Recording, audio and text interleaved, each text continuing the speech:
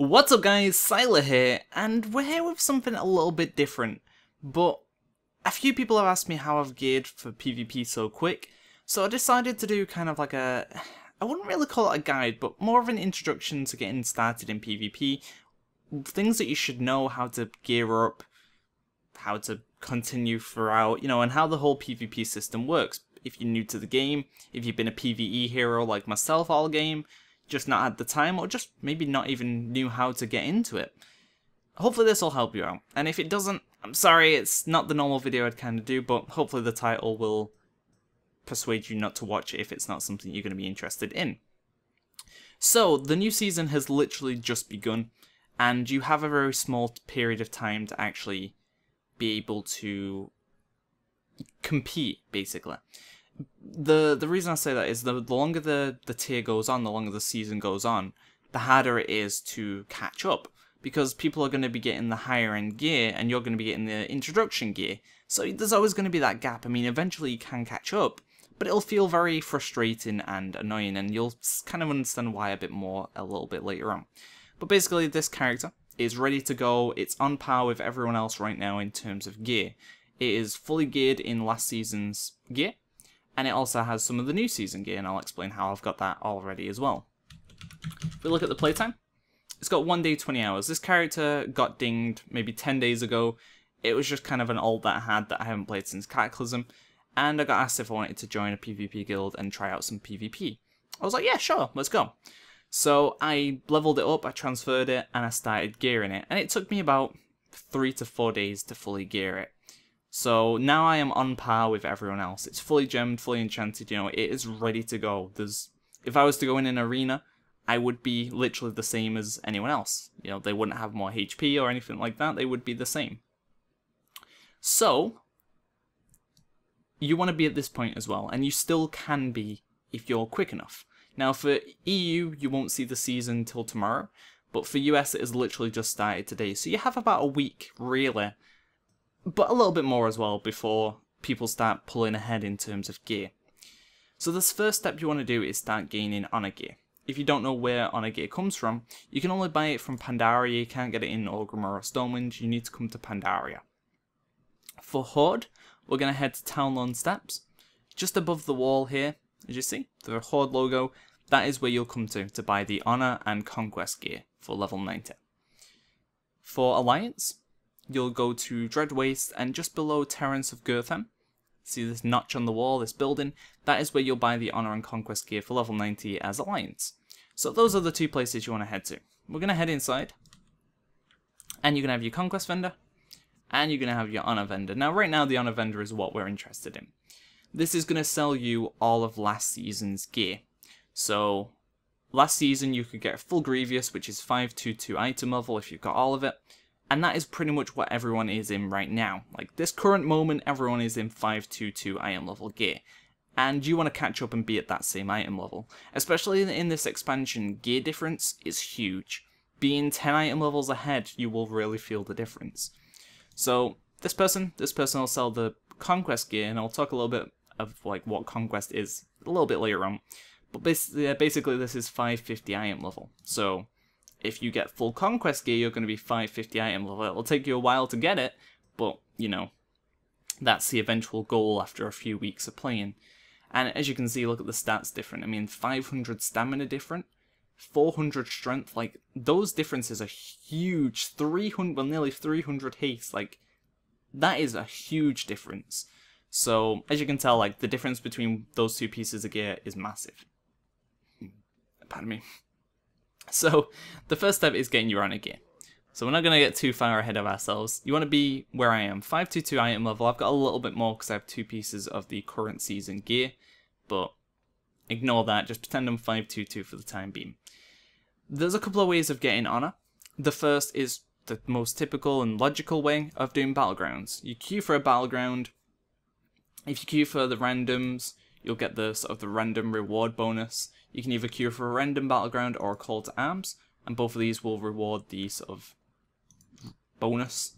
And if you win or lose, you'll get the bonus. You'll get a small, well, you won't get a full bonus, you won't get 270 for the win, but you'll get maybe like 50 for a loss. So, yep, queue up for Battlegrounds, but if you're in bad gear, you're probably going to not enjoy it. You'll get your ass kicked, you'll die all the time, and it just won't really feel like a, an enjoyable experience. So I would recommend waiting to do Battlegrounds until you're a little bit more geared at least, so you stand a chance, and then you can start sort of practicing how to play your class properly. Early on, all it'll teach you is what's going to kill you the quickest, basically. When you've got 300k HP, you're not going to be able to like learn to play, you're just going to die.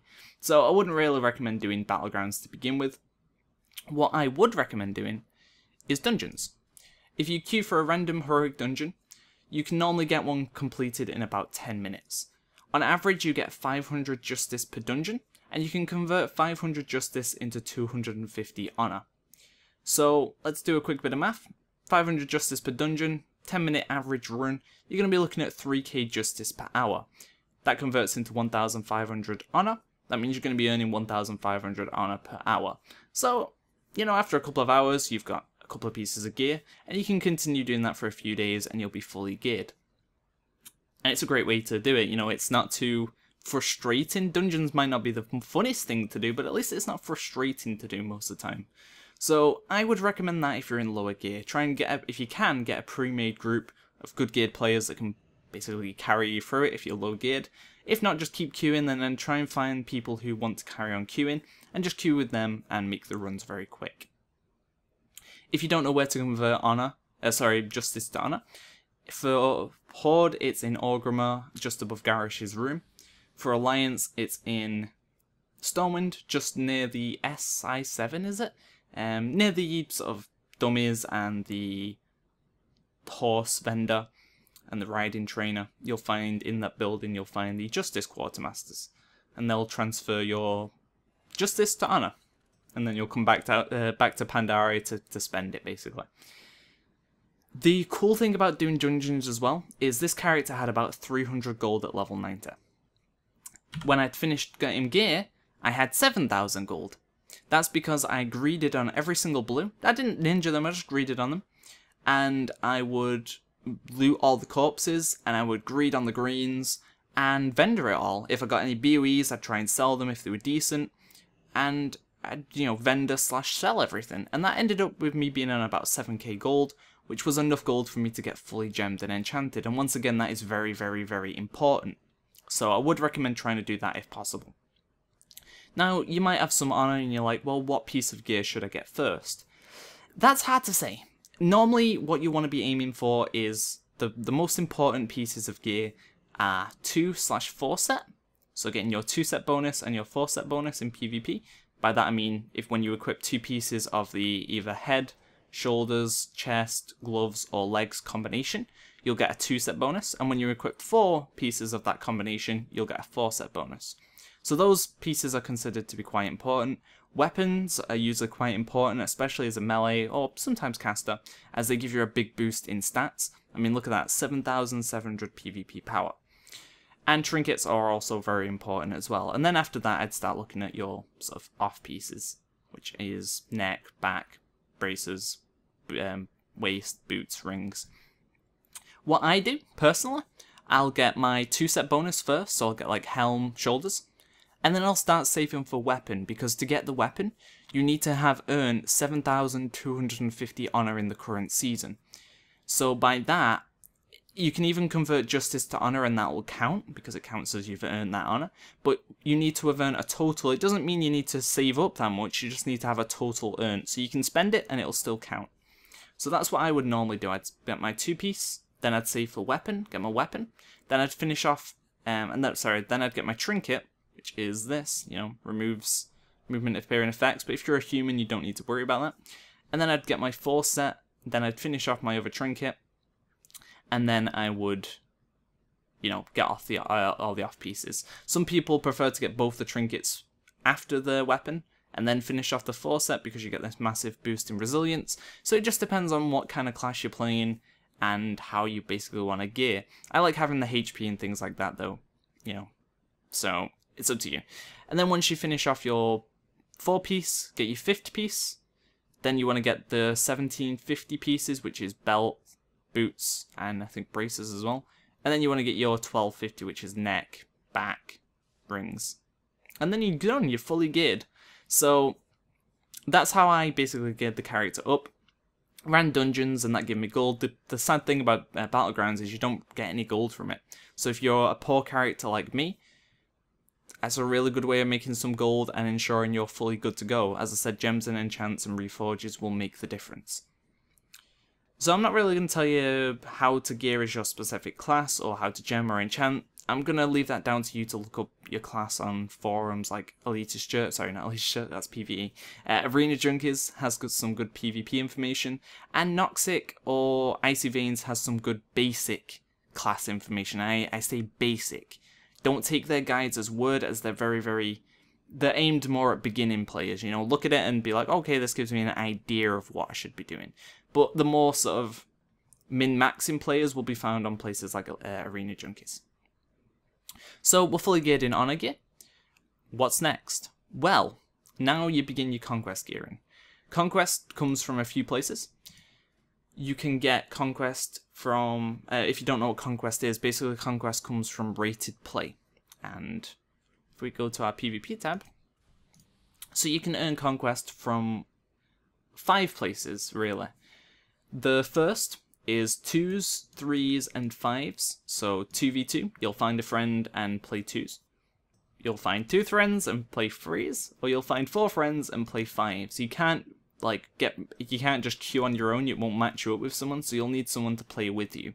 If you're a healer, you want to go with a DPS. If you're a DPS, you want to either go with a pardon me, sorry. You want to go with a DPS or a healer, it's up to you. I'd recommend in twos going with a, a double DPS because it makes the matches quick.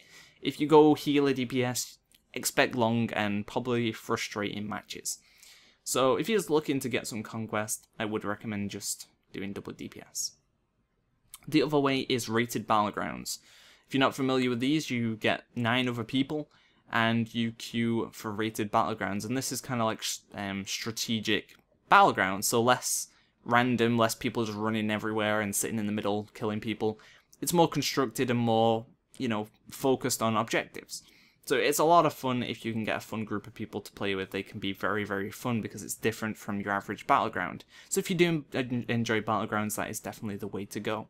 And normally, the top end PvPers will look to do rated battlegrounds first because you can get a higher cap easier from doing rated battlegrounds. Now what I mean by that is if we mouse up to the top, you'll see that it says all 2200, rated 2200, arenas 2000, uh, 1800, and random BGs 1800. Now it also says uh, random BGs. If you do a random BG, you'll get 150 conquests for your first win every day, and you'll get 75 for every win after that. So in theory, you could get your conquest cap each week from just doing battlegrounds. But it's very slow, so it's up to you if you really want to do that. Now, rated battlegrounds are good because if you lose as well, you'll still get some points. As long as your team captured an objective or did something in the battleground that was like constructive, they'll get points, you'll get conquest, even if you lose. So that's a, a great way of getting some points. Um, while in arena, if you don't win, you don't get anything. There's no, there's no pat on the back kind of thing. If you lose, you lose.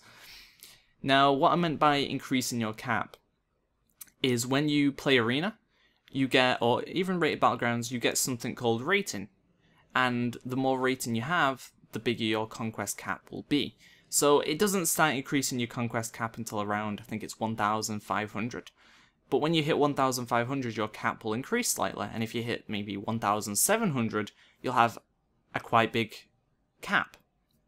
So that's the goal. You want to try and push for a higher rating because that will mean you are getting more conquest each week, which means you are gearing faster. Now, one thing you might notice is the fact that you can only earn 1,800 from arenas or battlegrounds, and then there's this 400 gap that needs to come from rated battlegrounds. Now, that's not always like that. When you get a higher arena rating, your rated battle cap won't change, but your arena cap will change. So eventually your arena cap will catch up. So it just depends on how you want to play. If you want to do the arena route and you want to focus on getting a higher arena rating, or you want to do the uh, rated battlegrounds route and you want to focus on your rated battlegrounds rating. Both of those will get you gear, and as I said, rated battlegrounds are generally more profitable. One, because you get points no matter what, and two, because it's easier to get a higher cap. So, Yeah. You won't start losing rating until past sort of a 1k mark, so don't worry if you're new to Arena, just find someone who's new or someone who's willing to play with you, and just play. If you lose, you don't lose anything. But later on down the line, when you lose, you'll lose a little bit of points. But you don't ever lose conquest points unless you spend them. So hopefully now you have an idea of how conquest works, and when you get some conquest, you'll come to the conquest vendor, and you'll buy whatever you want, basically. And conquest works the same as honor, you need to earn 7,250 conquest before you can buy the weapon. So I'll be doing the same route of getting my two tier pieces and weapon. Because weapon, for especially for melee, is such a big upgrade. Weapons for melee is massive. Now, before I mentioned I had two pieces of Prideful already. And the reason I have two pieces already is thanks to the world bosses. Now, if you don't know what they are, there's a place called the Timeless Isle. If you just look on your map to the right of the Jade Forest, there's an island. And there'll be a place called the Celestial Court. There will sit four bosses. There'll be Chi-Ji, Xuen, um, Niuzao, and Yuslan, or whatever the dragon's called. Uh, there'll be the four bosses sat in the middle. We'll click on world bosses. There we go. Oh, Yu'lon, sorry.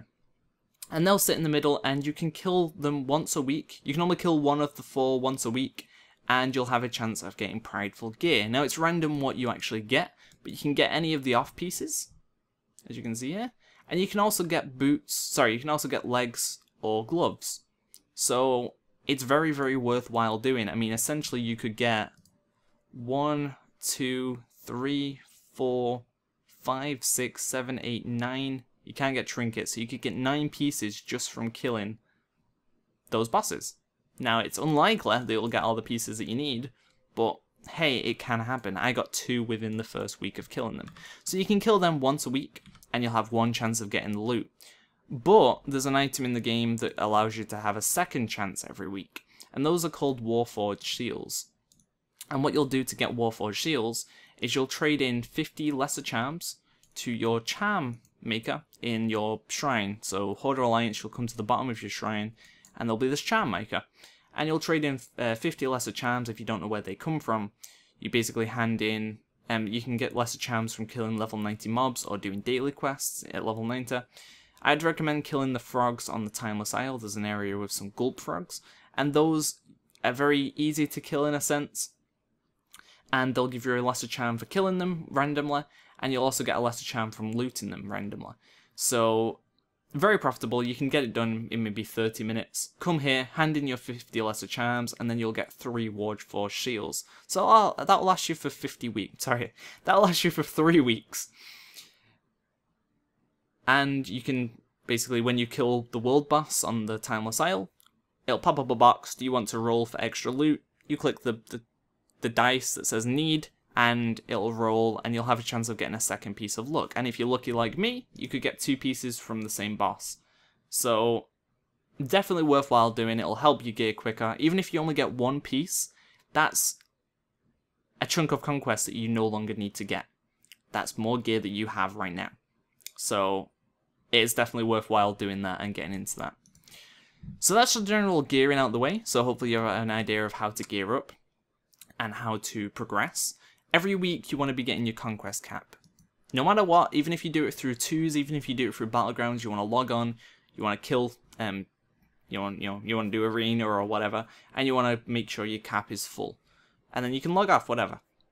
But you do want to make sure you're getting your cap each week because, as I said, gear is so important. If you try and get rating and you leave it three months down the line, people are going to be five 45, 550 item level and you're still going to be 522, they will beat you pretty much straight up. Like, they have the gear advantage, and that is enough for them to just win.